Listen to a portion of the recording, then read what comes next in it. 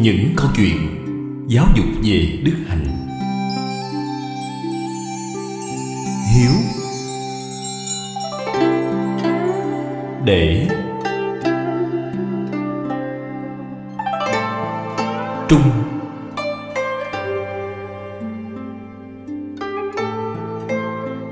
Tính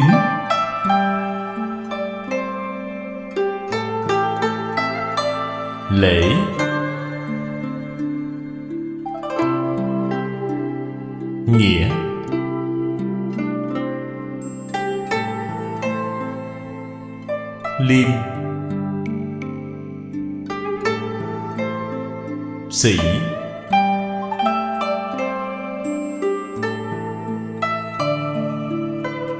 Lưu Đại Nhập Vàng. Tập 1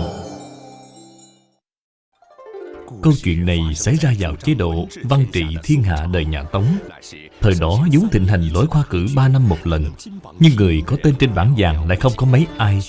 Rất nhiều người đọc sách đi thi đến lúc bạc đầu mà vẫn chưa lần nào thi đỗ Hoang phí mất tuổi xuân, Đồng thời cũng tiêu tốn bao nhiêu là tiền bạc.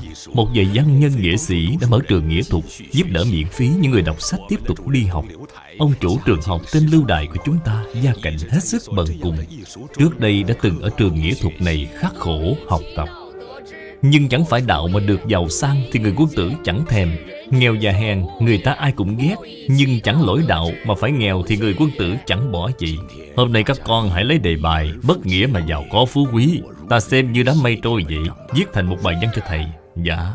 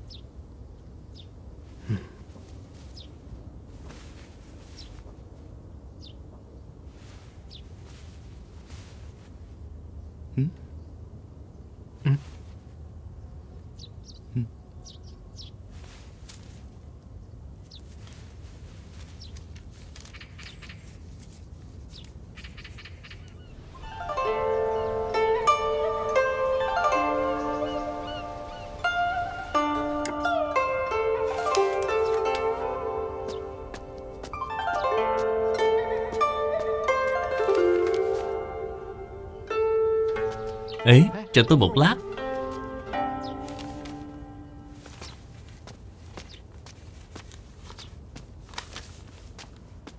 Thưa thầy. Lưu Đại Lát nữa con hãy đi cùng thầy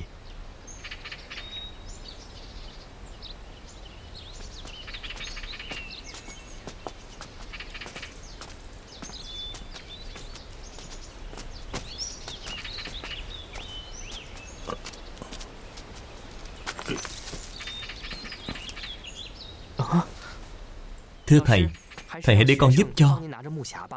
Vậy thì làm phiền con rồi. Lưu Đại Con rất giống thầy hồi còn trẻ. Con có biết vì sao thầy mở trường nghĩa thuật này không? Thầy mở trường nghĩa thuật là vì muốn giúp đỡ những người học trò gia cảnh thanh bần như chúng con, Để cho chúng con cũng có cơ hội học tập. Con có biết không? Loại đá trên con đường này cũng giống như tượng Phật bằng đá trong chùa vậy. Đều là từ một ngọn núi.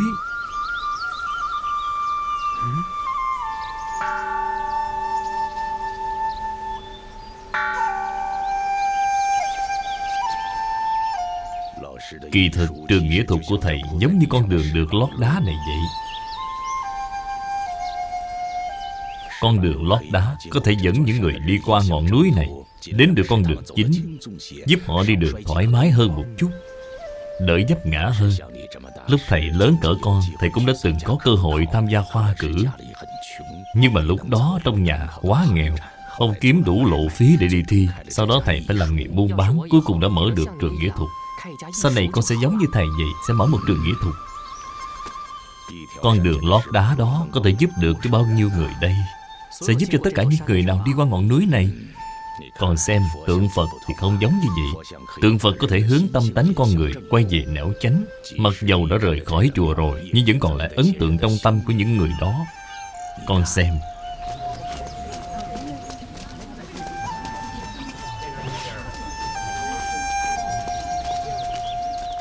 Những người mà các sư phụ ở chùa giúp đỡ Không chỉ là những người sống ở vùng này, Con có hiểu hay không vậy? Lưu Đại à Sắp đến kỳ thi rồi Con hãy đi tham gia đi Nếu như có thể thi đậu Thì hãy là một vị quan tốt, Dẫn dắt càng nhiều người đến với chánh đạo Quan trọng hơn nghĩa là dẫn dắt lòng người đến với chánh đạo nha con Khi con đi ra khỏi thôn trang này, Hãy tận sức của mình Mà giúp đỡ càng nhiều người càng tốt Thưa thầy Thầy đưa cho con vật gì vậy ạ? À?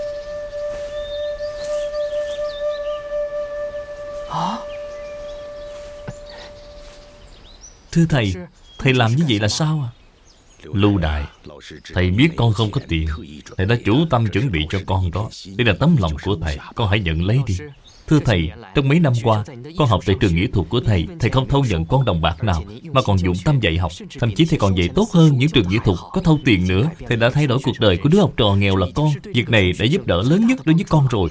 Con bất luận thế nào cũng không thể nhận tiền của thầy được. Thôi được rồi, hãy xem là thầy cho con mượn đi. Một đời làm thầy, suốt đời làm cha. Lời của thầy con không thể không nghe theo. Thưa thầy, con xin bảo đảm sẽ nhất định tham gia khoa cử Tiền lộ phí con sẽ nghĩ cách kiếm dần dần Xin thầy được lo cho con Thầy hãy giữ tiền lại đi ạ à.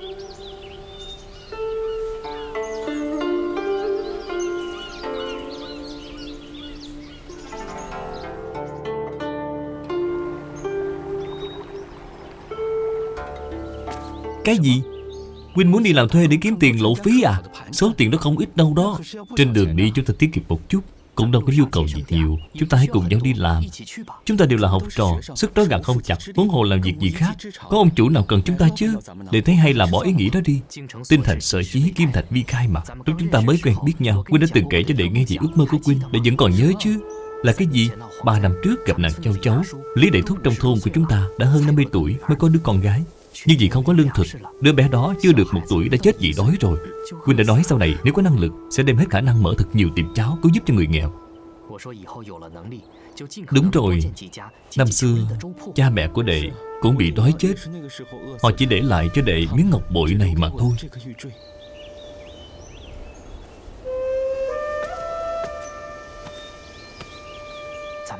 Hiện nay, chúng ta mặc dù đã học được không ít kiến thức từ thầy, Nhưng mà sức lực vẫn còn mỏng lắm. Những việc thực sự làm được rất ít Để xem. Nếu như đệ có thể làm quan, Thì lực lượng của đệ sẽ rất lớn. Nếu như có một ngày Đệ có thể trở thành vị quan tốt Vì đất nước tận trung, Vì nhân dân làm việc, Thì linh hồn của cha mẹ đệ ở trên trời Sẽ được an ủi đó. Đệ xem Quynh nói có đúng không? Quynh nghe người ta nói, Ông chủ lý trong thôn mình là người tốt. Chúng ta hay là đến hỏi ông ấy có cần người làm công hay không? Làm ở nhà tắm à? Hiện giờ không phải là mùa hè thì bao nhiêu người đến tắm chứ? Liệu ông ấy có chịu giúp đỡ hay chúng ta không? Chúng ta trước tiên hãy đi hỏi đã. Tâm trí thành thì kim thành cũng phải nứt thôi mà. Xin chào trương công tử. Thật là nóng quá mà. Được, Hai cậu có tấm lòng như vậy Cũng thật không dễ có. Ngày mai hãy đến làm việc đi. Cảm ơn ông chủ lý. Vì cần tiền mà chấp nhận đi làm công, Việc này không có gì phải mất mặt cả. Muốn có tiền mà cứ đi xin người khác mới là đáng xấu hổ đó.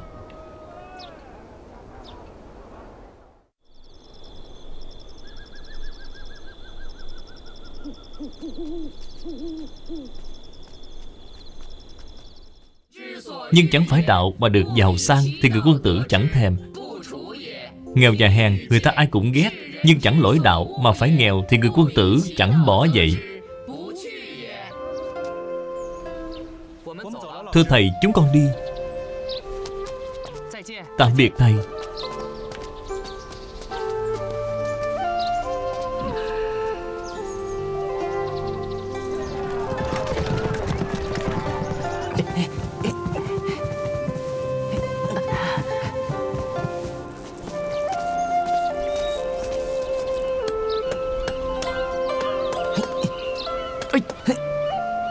Tạm biệt ông chủ.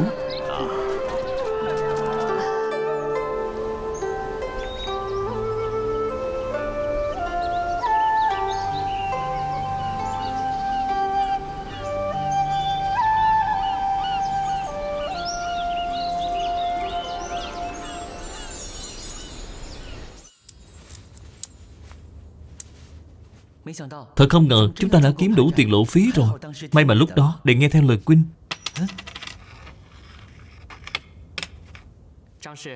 Trương sĩ à Đệ không có may túi đựng tiền, Cẩn thận kéo tiền của đệ sẽ mất đi đó. Đệ không dùng túi đựng tiền đâu, Phiền phức lắm. Lâu đài à Đừng có lo nói đệ không. Quynh xem tiền của Quynh kìa, Cũng bị rớt kìa. Có lẽ không phải là tiền của Quynh Nhất định là do người khác đánh rơi.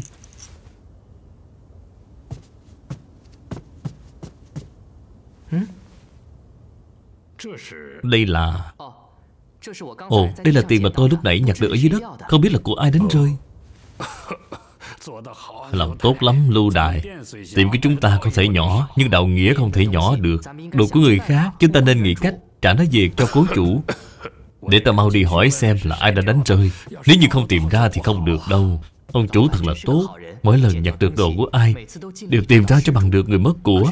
Nhưng mà sức khỏe của ông ấy không tốt. Quynh rất muốn giúp ông ấy phải có cơ hội chứ, Chúng ta đi làm việc thôi. Đi nào.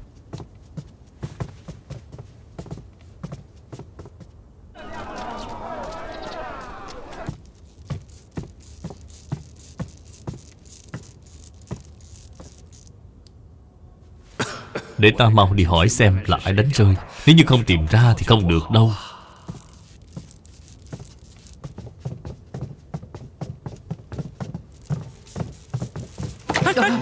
Ây da.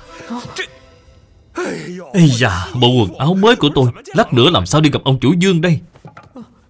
Xin lỗi, thật xin lỗi Tôi thật tình không cố ý à Để tôi lau cho ngài Quả thật xin lỗi ngài. Xin lỗi à?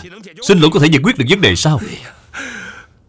Ây da, Lát nữa ta phải đi gặp một người rất quan trọng Bộ dạng của ta hiện giờ có thể đi gặp được người sao?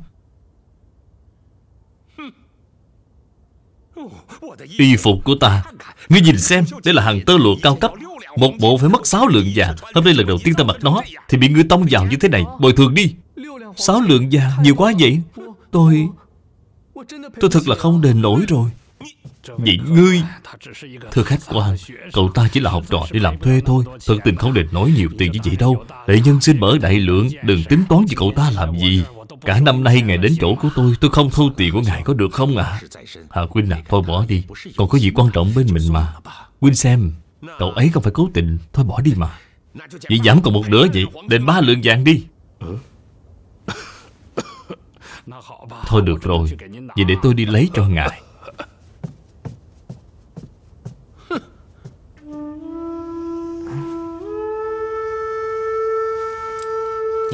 Ngài xem, đây là toàn bộ số tiền của tôi. Vốn là chuẩn bị làm lộ phí để đi thi Ngài hãy lấy nhận đi. Xin đừng lấy tiền của ông chủ tôi. Người nào làm, người đó chịu. Có được không ạ? À? Được rồi. Tha cho người đi, làm phúc. Huynh hà tất phải làm khó một người làm công như vậy. Dù sao chúng ta còn có việc gấp phải làm. Mau đi thôi. Vậy thôi bỏ đi. Niệm tình ngươi trung thành với ông chủ của các ngươi. Quả thật là xui xẻo mà Lưu đài. Vị khách lúc nãy vì sao không đợi ta đưa tiền mà bỏ đi rồi? Dạ. Ông chủ lý à Tôi và Trương Sĩ ngày mai phải lên tỉnh tham gia khoa cử rồi. Xin cảm ơn sự giúp đỡ của ông đối với chúng tôi trong thời gian qua. Đừng nói như vậy. Ta luôn xem những thanh niên các cậu như con của ta vậy.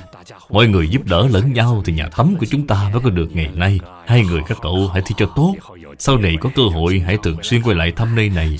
Hãy xem đây là nhà của chính mình nhé. Thưa ông chủ, Tôi nhất định sẽ trở về thăm mọi người. Hôm nay hãy để tôi ở đây làm thêm một lát nữa. Sau này e rằng không còn có cơ hội như vậy? Tôi muốn ở cùng với mọi người thêm một lát nữa. Ngày mai chia tay không biết đến khi nào Mới gặp lại có được không? Đương nhiên không thành vấn đề rồi. Lưu Đại à Đại Phu nói Tỳ của huynh không tốt. Đệ có biết tỳ nằm ở đâu không? Đệ cũng không rõ lắm, Hình như là ở chỗ này.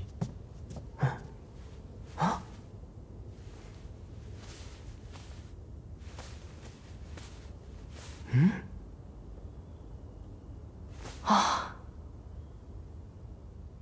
Ồ hóa ra mình còn lại một đồng tiền. Mình chỉ còn lại một đồng tiền thôi à? Lưu Đại à Mau mang đến cho tôi cái khăn chà lưng đi. Dân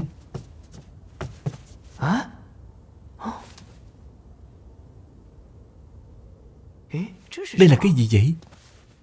Sao bà chậm quá vậy? Thôi khỏi nhé Tôi tìm thấy khăn rồi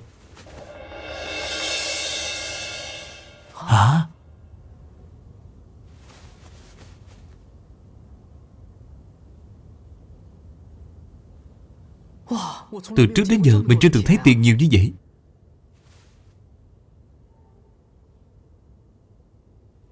Trần Thọ Phụng Thượng Trong nhà tắm này đâu có ai tên là Trần Thọ đâu. Xem ra là do khách làm mất đi mà. Nhiều tiền thế này, người đó nhất định sẽ rất lo lắng. Lưu Đại à Cậu xảy ra chuyện gì vậy?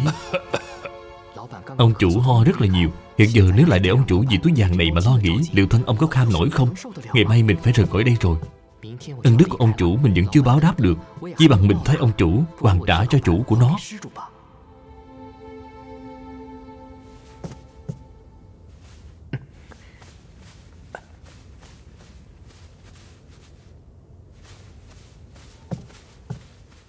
Ông chủ Lý à Qua đây một lát. Được tôi qua liền Đại khái được rồi mà, Ngày mai còn phải lên đường nữa, Đừng để mệt quá đó. Tôi biết rồi, Ông chủ yên tâm đi.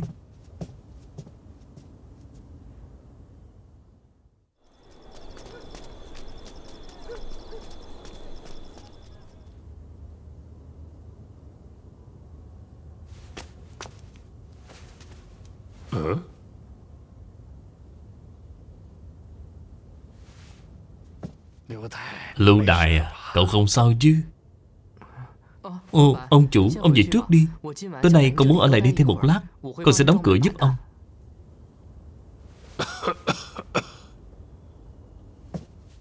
Ông chủ yên tâm đi. Được rồi, Đêm đến đừng để bị lạnh đó. Dạ cảm ơn ông chủ. Ông chủ à Ông cũng phải chú ý đến sức khỏe đó.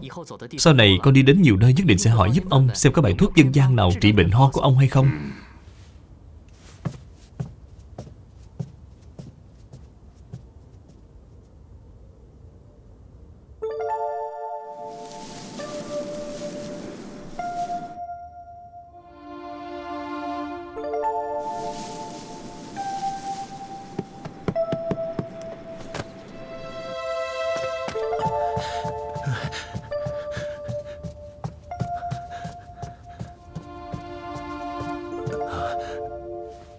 Tiểu huynh đệ à? Tiểu huynh đệ à? Cho tôi hỏi thăm một chút.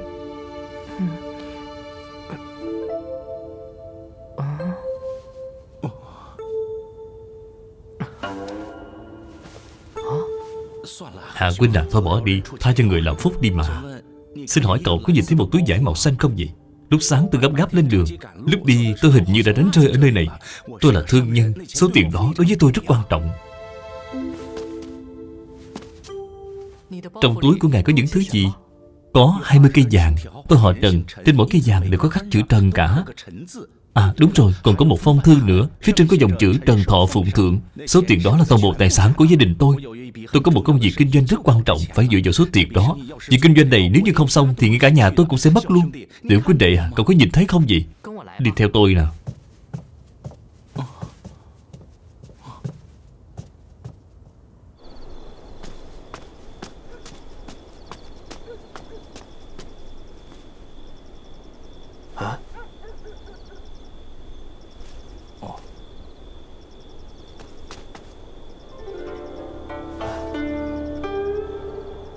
Nếu thật như lời người nói, Trong này có một phong thư và 20 cây vàng, Không hơn không kém. Trên mỗi một cây vàng đều có khắc chữ trần. Lần sau, Ngài phải cẩn thận.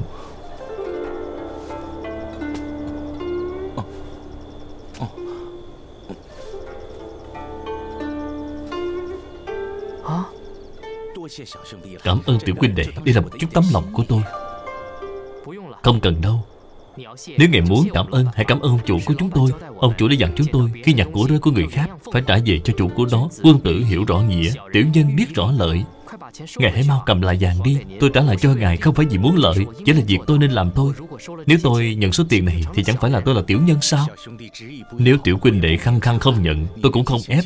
Cậu còn trẻ tuổi như vậy Mà đã hiểu sâu đạo nghĩa sau này nhất định sẽ có triển vọng lớn lao. Đều trách chính tôi làm việc hấp tấp, Đã gây thêm phiền phức cho tiểu huynh đệ.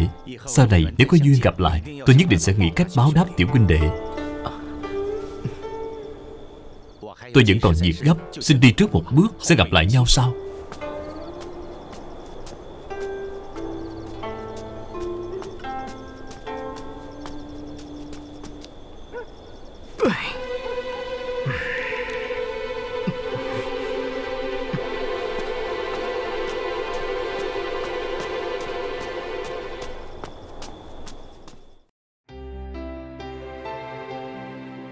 Cẩn dịch. Ban biên dịch, Tình không pháp ngữ. Địa chỉ email Vòng tay cư sĩ amoc gmail.com Người đọc, Hạnh Quang. Phát tâm cúng dường. Do nhóm đệ tử quy Thành kính cúng dường. Nguyện cả thảy chúng sanh Đều tín niệm di đà. Đồng cầu sanh về nước cực lạc. Nguyện đem công đức này Trang nghiêm cõi tịnh độ. Trên đền bốn ân nặng, Dưới cứu khổ ba đường. Nếu có ai thấy nghe, Đều phát tâm Bồ Đề. Hết một báo thân này, Đồng sanh về nước cực lạc. Nam Mô A Di Đà Phật.